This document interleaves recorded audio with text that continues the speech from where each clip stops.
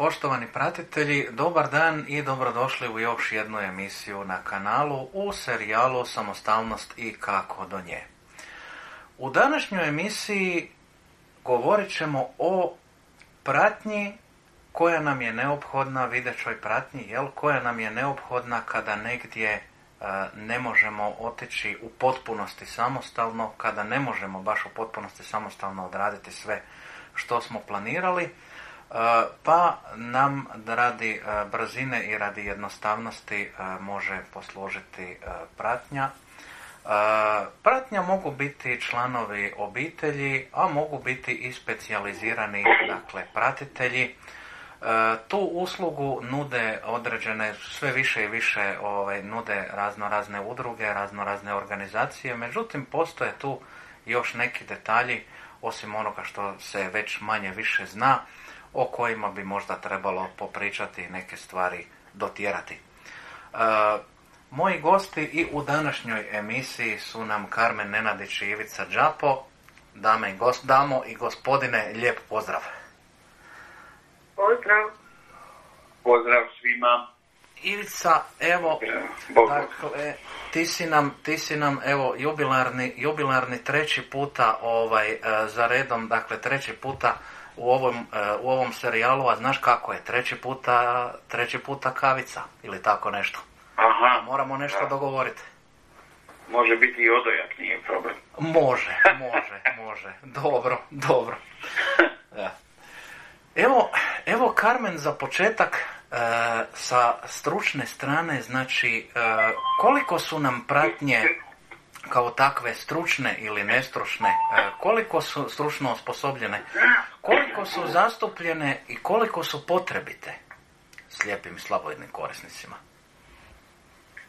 Pa ja bih rekla da je kvalitetna pratnja jako važna i imati osobu koja će biti u stanju odraditi e, bilo pratnju, bilo asistenciju, što ja dvoje na neki način e, razdvajam, zato što je pratnja u stvari osoba koja te prati od točke A do točke B, a u stvari neko ko ti je asistent, on će ti pomoći i u malo ovako nekakvom širem segmentu gdje ta osoba mora biti osposobljena da zna neke specifičnosti s obzirom na, ne znam, zdravstvene probleme, ne znam, ako se radi o osobi sa dijabetesom da je u stanju ako treba dati i ono, onu injekciju sa glukagonom ako osoba padne zbog visokog razine inzulina i kod nekih drugih e,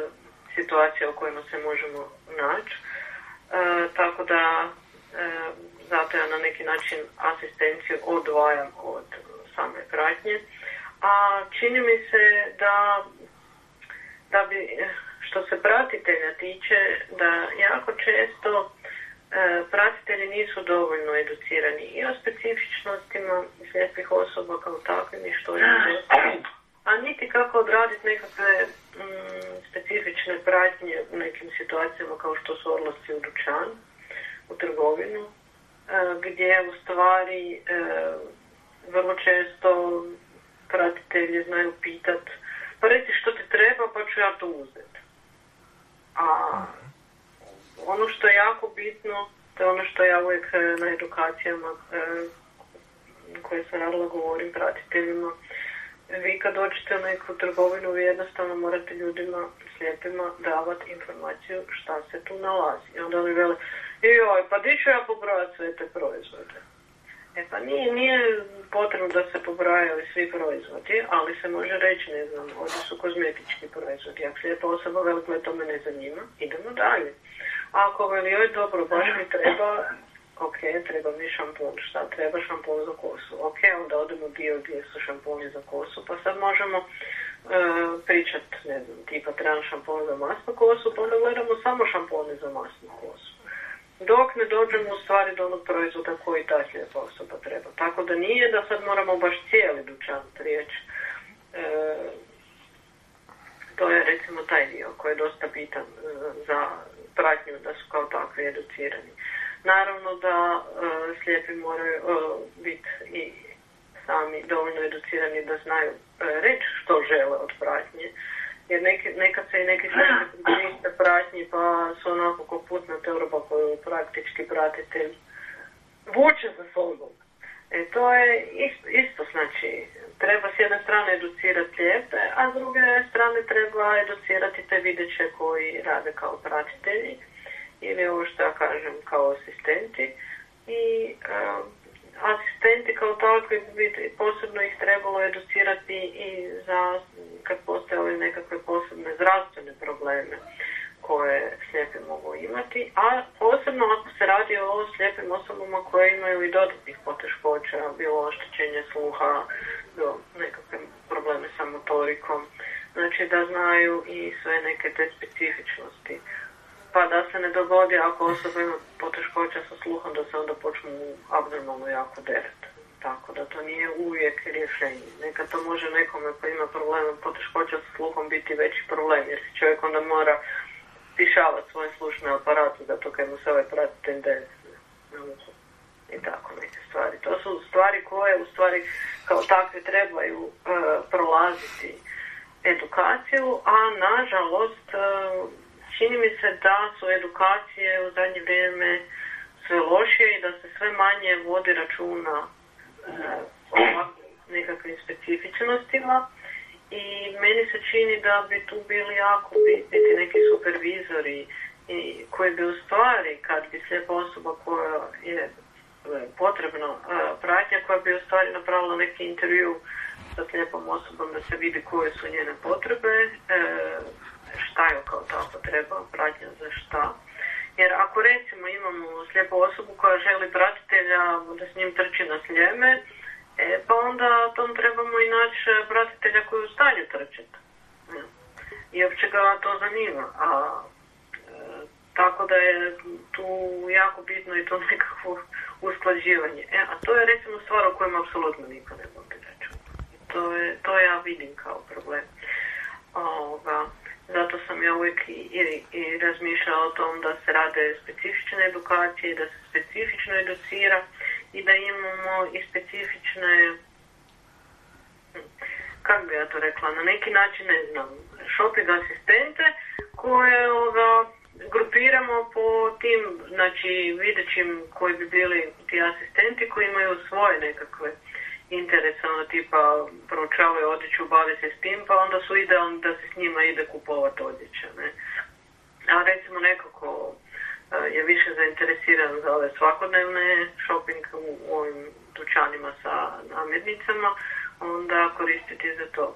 Jer najteže je recimo da slijepi koji hoće ići kupiti, ne znam, neki fini komad mesa, onda si uzme pratitelja ili asistenta koji je vegetarijanac pa mu ne bi uopće pomoć oko kupovine tog što je njemu interesantno. Tako da se treba malo voditi računa i o tome i da se na neki način e, te e, ljude usklađuje na sličan način kao što recimo su u Silveru i u utruzi pasa vodiča usklađivali slijepu osobu i psa, pa se gleda da ako je slijepa osoba sporo hoda, da je se nađe i pesek koji sporo hoda, tako da e, tako, tako sve ima svoje, što bi se reklo, sve ima svoje i treba, treba jednostavno voditi računa o određenim da se tako, da, da se tehnički izrazimo parametrima. Naime, e, sa jedne edukacije je došla jedna informacija, to je zapravo i e, bit ove emisije što, sam, što me potaknulo da ju, da ju, da ju napravim. E, s jedne edukacije je došla informacija kako bi bilo dobro da slijepe osobe u svakoj situaciji zatraže pratnju, pogotovo bili su spomenuti shopping centri kao jedan od primjera, da se slijepe osobe tamo nipošto ne kreću samostalno, budući da izgledaju, budući da vrludajući po tim shopping centrima, po tim velikim prostorima, izgledaju kao da imaju mentalnih poteškoća, kao da su zaostali, kao da jednostavno kvare, kvare, ovaj, kvare općenitu sliku, je li to jednostavno ne, ne izgleda dobro.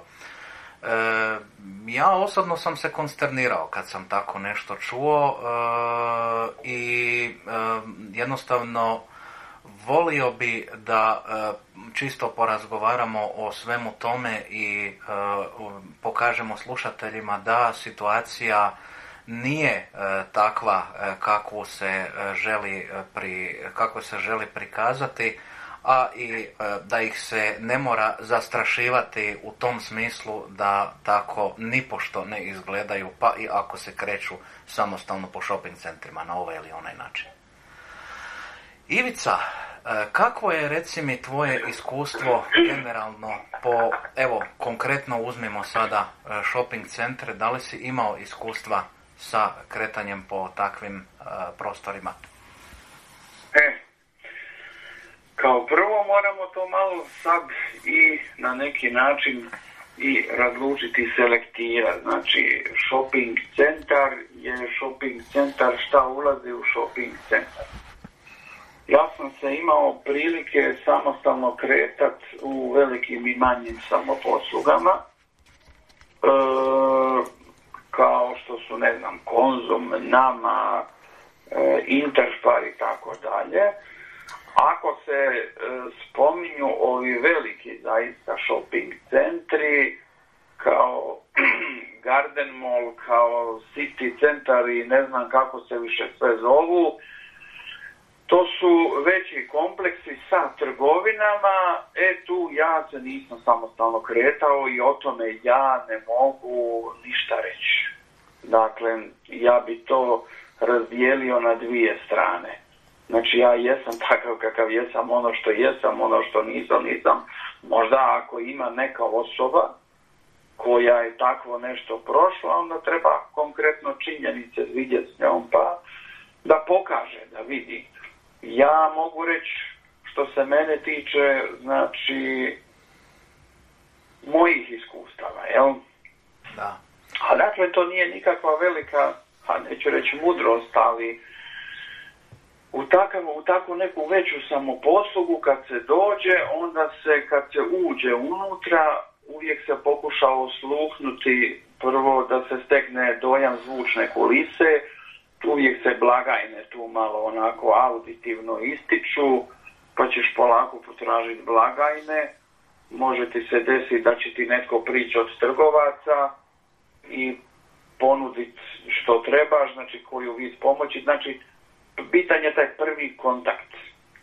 Bitan je taj prvi kontakt da, da, da slijed čovjek ovoga, uspostavi kontakt sa nekakvom službenom osobom i da kaže što treba i onda zapravo dalje stvari funkcioniraju ovisno o slijepim ljudima, jer imate slijepih ljudi koji dođe na blagajnu i traže nekog od trgovaca, dadu mu popis, trgovac obiđe po trgovinama, donese na blagajnu, ovaj plati, pokupi i ode sa štapom van trgovine.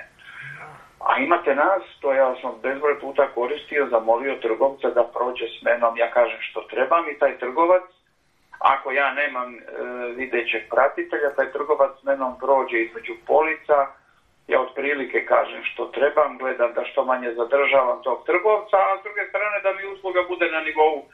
I onda mi ta osoba, ta trgovkinja, trgovac čita proizvode, znači biram s njime proizvode kao i sa videćim pratiteljem, nekakvom osobom videćom s kojom bi isto tako kupovao. Znači, to su moja iskustva, da sad ne ulazim u detalje, ovoga, pokušavam biti ono što se kaže jednostavan, e, objasniti ljudima da se to može na taj način. Naravno, uvjet je samostalno kretanje slijepe osobe i tako dalje, to smo već rekli. Uh, uh, Postavi ti još pod pitanje pa ću ja Evo, sa pa sada... dobro, ja mislim Bojana da si se ti u principu, pa ti si ja mislim znao ići u Evinju Mol, ili tako, jel tako?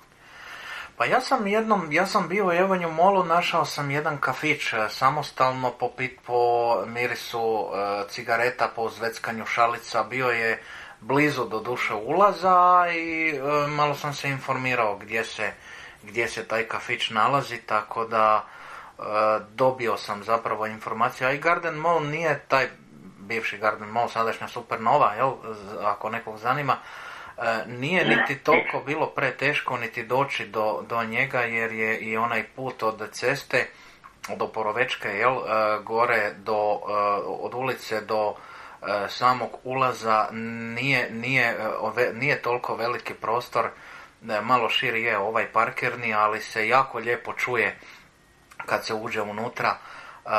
može se, čak i ja sa ovim mojim oštećenim sluhom sam uspio fino detektirati ispred mene ova okretna vrata i zvukove koje dolaze iz samog shopping centra jer se zvukovi koji dolaze iz akustike, iz akustičnog prostora jako lijepo transferiraju u daljnji prostor i može se na taj način može se navigavati. Mislim, ja sam odradio što sam, što sam trebao. Ivica, ti si nam opisao jedan, ti si nam opisao generalnu kupovinu i to je sasvim u redu, ali uh, i kao slijepa osoba koja se samostalno kreće ovakve izjave koje su došle sa edukacije koja je bila za slijepe osobe, a i za njihove roditelje, mene osobno ovako jako, jako pika u uho, iskreno rečeno. E, ne znam, ne znam Karmen što e, kaže sad struka. ja ću vam reći ovako. Gle, što se tiče tih izjava, o tim izjavama ne vrijedi puno sada raspravljati, nego jednostavno sa činjenicama i argumentima na ovaj način i što Carmen kaže nekakvim e, drugim radionicama jednostavno postaviti stvari na pravo mjesto. Znači, činjenica jest e, i uvijek morate uzeti osobu koja je to zaista prošla, odradila e, ili više ljudi da to tako je ili nije. Znači, Činjenica je da slijep čovjek može ići u trgovinu sam. E sad, neki slijepi će se snalaziti bolje u jednom tipu trgovina, to moramo znači tako objasniti po meni. Drugi slijepi će se snalaziti u drugom tipu trgovina, e, sad su tu riječi o velikim robnim tim centrima, e, da li je netko prolazio tim robnim centrima gdje su te trgovine velike, ogromni pravoputni hodnici, široki.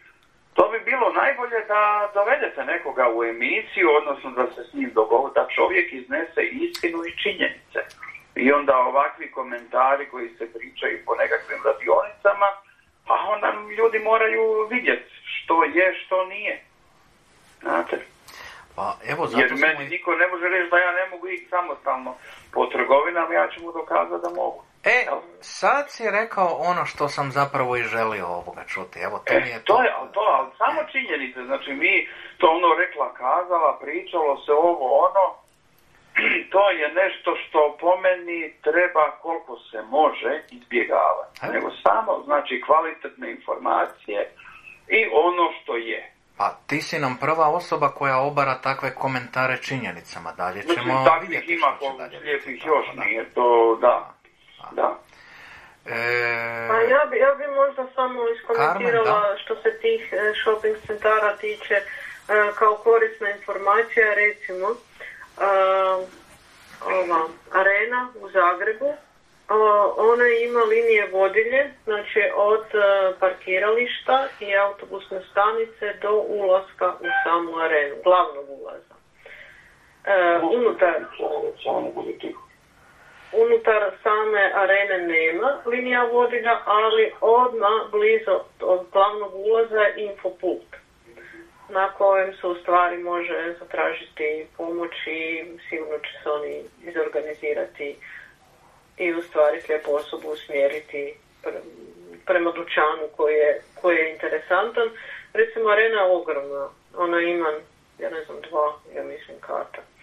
Ovoga, I ono što je zgodno, ako neko živi u blizini, ko bi često išao u arenu, koliko god ona bila ogromna, moglo bi se naučiti dućani koji su ti interesantni, jer u principu ti ne trebaju svi dućani. Ne? E, I ja vjerujem da recimo neko prođe dva, tri puta da lijepa osoba koja je samostalno bi se bez problema mogla kretati. Ono što se meni čini po tim velikim shopping centrima da je veća prednost nego recimo ovih običnih dućana, da, da je tamo puno dućana na jednom mjestu i oni su u stvari više manje stalni.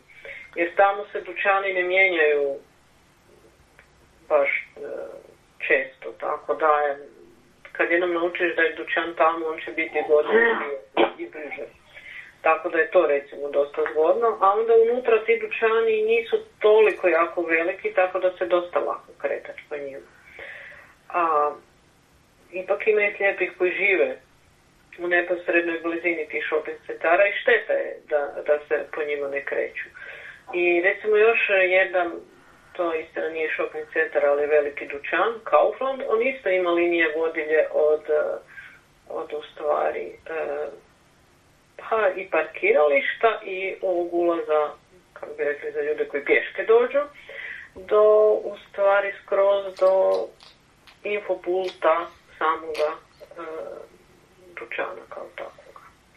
I tamo se može bez problema dobiti onda prodavača koji će onda mm, asistirati slijepoj osobi u kupovini kao tako. Tako da je recimo to nešto dosta zgodno. A, u, u ono što je dosta smiješno, imaju liniju vodilju ko, koja vodi do toaleta, a imaju čak e, i orientacijski plan na zidu, ali kako ljudi koji su to radili vrlo često nisu znali kako ga treba postaviti, pa zna biti krivo postavljen. Tako da sam i to vidjela u nekim Kauflandima. A taj orientacijski plan u stvari pokazuje samo infopult i toalet, tako da nije baš previše koristan.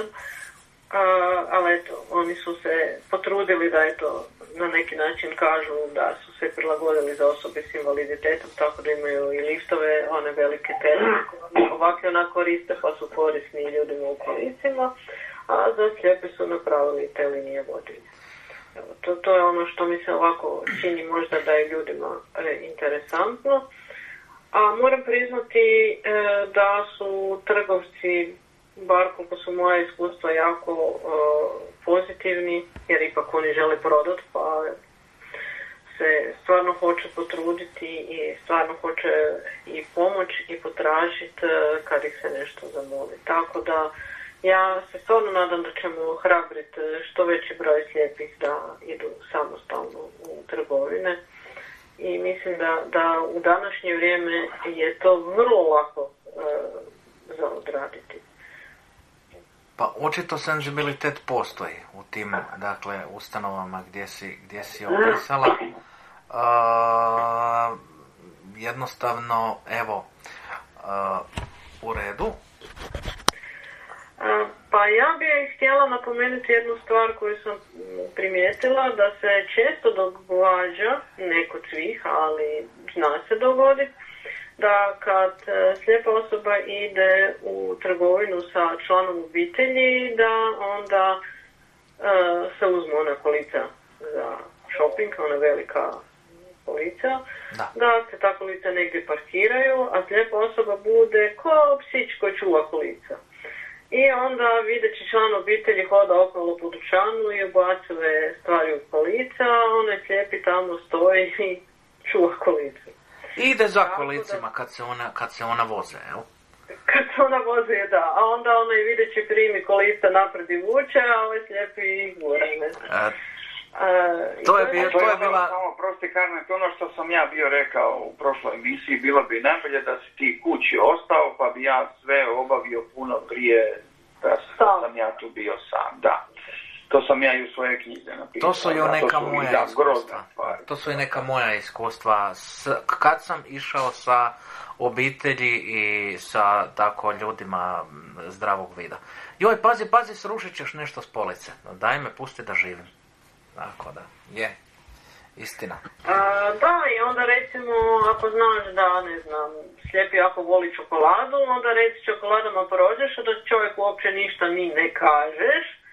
I onda kada uveli, joj, htio sam, ne znam, kupiti čokoladu, a joj, daleko nam je reći čokoladama. I takve fore, ne. E, tako da, recimo, evo, to je nešto što članovi obitelji bi definitivno upozorila ih da ne rade, da nije lijepo, a mislim slijepi koji su samostalni kao recimo vas dvojica, ja znam da ćete se vi izboriti i vi ćete biti oni koje čak i ako neko ostavi tako da negdje stoji, ćete ako ništa drugo, pipat rukicama oko sebe pa naći svašta i odšetat se negdje i uzeti si ono kaj hoćete. Naravno. Ali recimo slijepi koji su e, manje samostalni u kretanju, onako poslušno stoje i, i onak čekaju, čekaju i čekaju i čekaju. I u principu tek kad dođu doma vide što su sve kupili.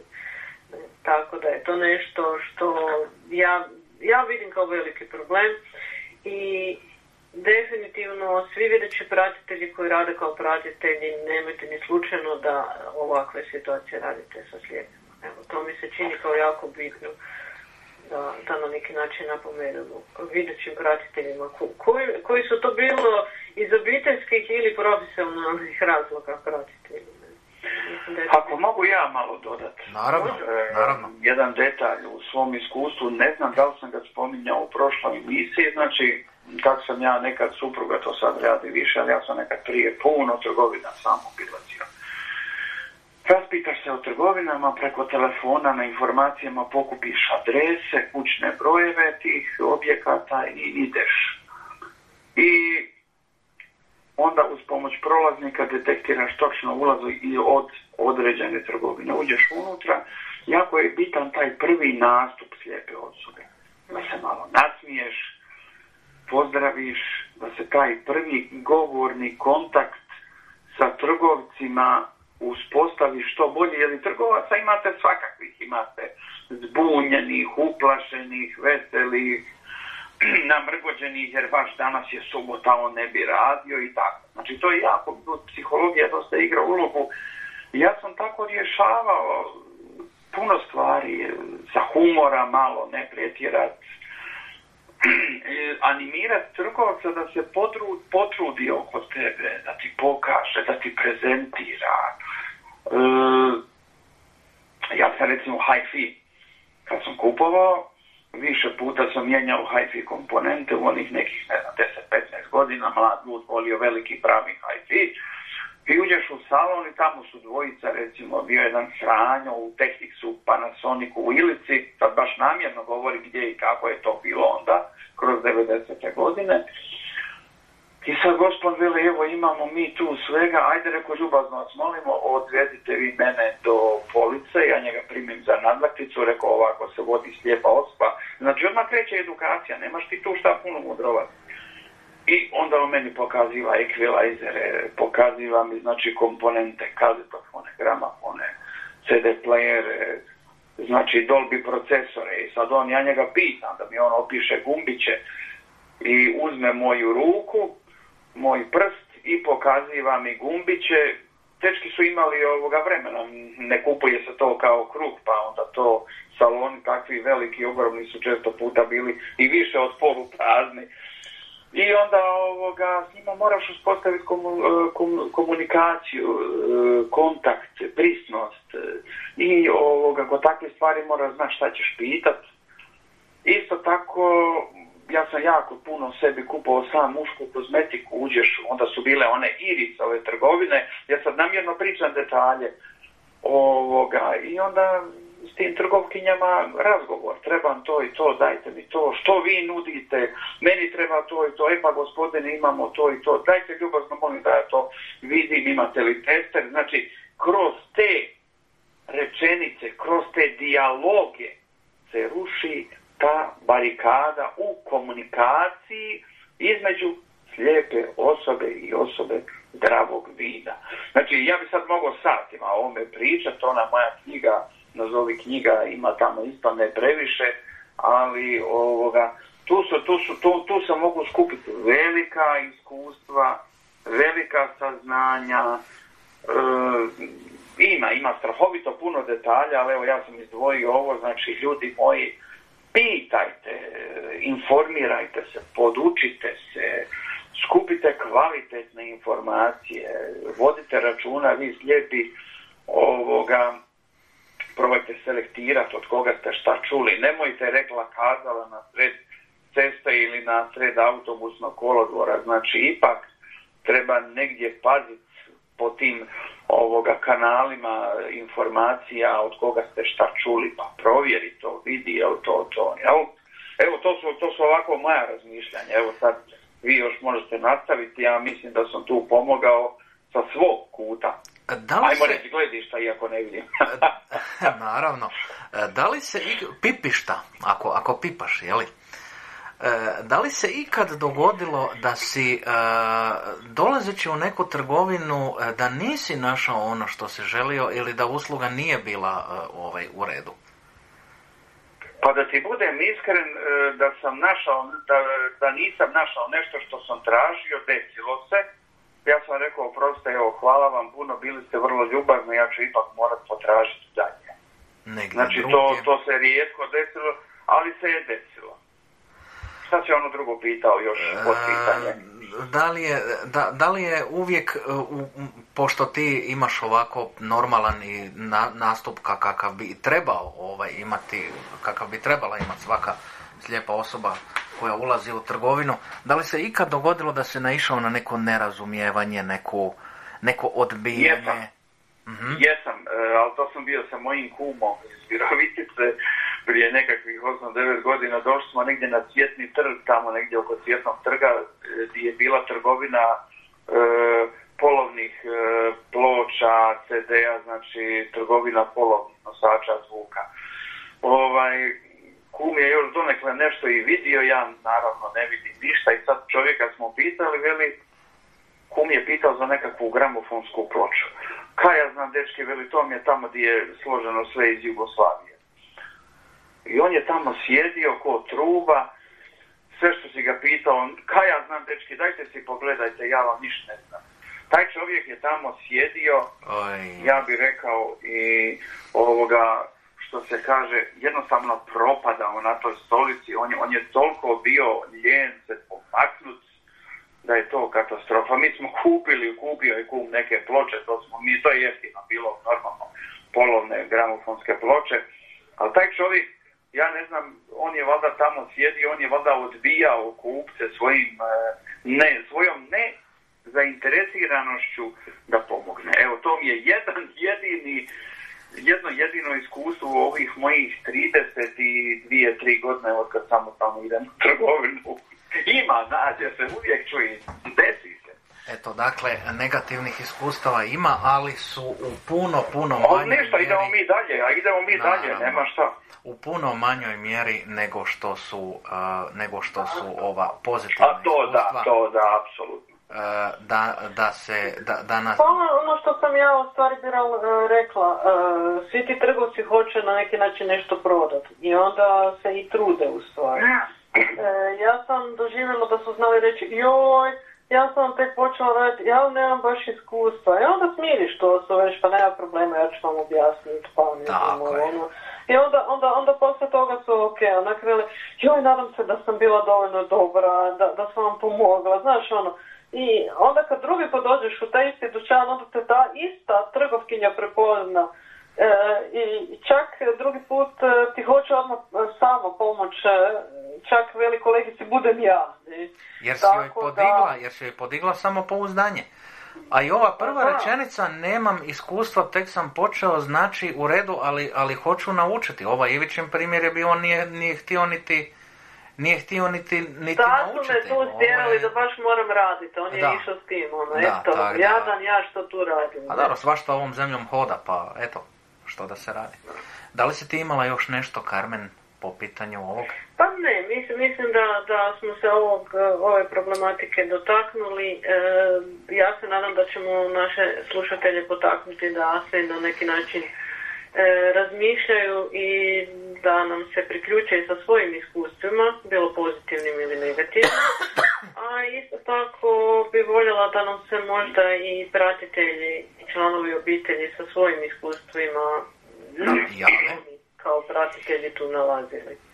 Otvoreni smo za suradnju, gostovanje u emisiji, vaši komentari, sve pratimo što se dešava na, na YouTube kanalu. E, kanal postaje sve e, praćeniji i prepoznat, e, prepoznatljiviji što mi je izuzetno drago i najljepša hvala još jednom na tome.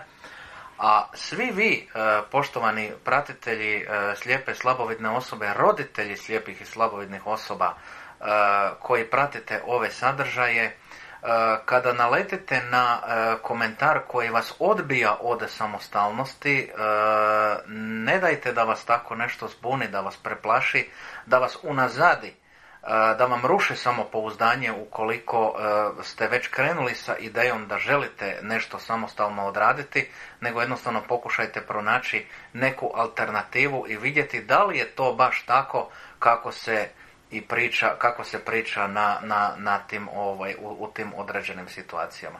Jer, i, edu... I ja bih dodao to, jer postoje ja edukacije, postoje edukacije i edukacije da se tako Ja bih dodao, to su opasni komentari i treba se uvijek raspitivati sa više strana, ne uzima samo liniju po kojoj dobivaš, jednu liniju po kojoj dobivaš informacije. Znači, treba paziti, treba paziti, treba selektirati informacije i treba se raspitivati na što više strana. Udruga za slijepe ima puno u savezu, van saveza, pazite dobro otkud učete informacije, dragi slijepi i roditelji slijepe djece. Evo, hvala lijepa Ivica. Ja bi ovu emisiju završio e, prije nego što e, dakle odjavim i e, zahvalim svima na pratnji. Još jednom lajkajte, komentirajte, pišite. Svaka informacija je dobro došla, pretplatite se na kanal. Vas ne košta apsolutno ništa, a nama je vrlo dragocjeni podatak, dakle povratna informacija o stanju samog kanala. Ja ću ovu emisiju završiti jednim citatom koji mi je puno toga u životu e, otvorio, a čuo sam ga od našeg e, dakle župnika u župi Sveti Ivan Zelina prije a više od 30 godina. Kaže e, prepoznat ćete naravno ovaj kontekst i, i poruku između redaka kada ti se čovjek poželi, kada ti se čovjek požali da je gladan, ulovi mu ribu. Kada ti se ponovno požali da je gladan, nauči ga loviti ribu. Lijep pozdrav svima i čujemo se.